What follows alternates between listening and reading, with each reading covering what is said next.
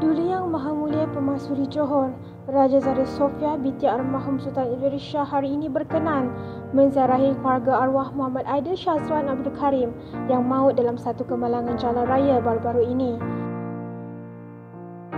Baginda yang tiba di kediaman keluarga itu di Skudai pada jam 3 petang diiringi paduka anak anda Yang Mulia Tuku Tuan Aminah Maimunah Iskandariah binti Sultan Ibrahim dan suami Encik Dinis Muhammad Abdullah.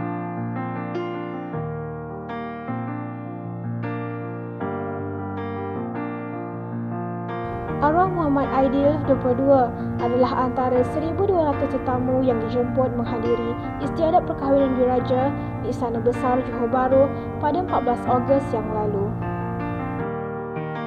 Mungkin rezeki arwah adik kan Tengku datang nak ziarah. Dia pun baik dengan Tengku Aminah kan. Jadi kami bersyukurlah Tuanku datang melawat dan ziarah ke rumah kami kan kerana arwah ni. Tapi macam mana pun ialah macam terkilan kan arwah ni tak dapat nak bersama dengan Tuanku Aminah kan dalam masa pernikahan dia. Kami sekeluarga nak ucapkan terima kasihlah pada Tuanku Pemaisuri, Tuanku Tun dan sekeluarga lah kerana sudi datang untuk ziarah kami sekeluarga kan. Sekurang-kurangnya terlepaslah ajak arwah.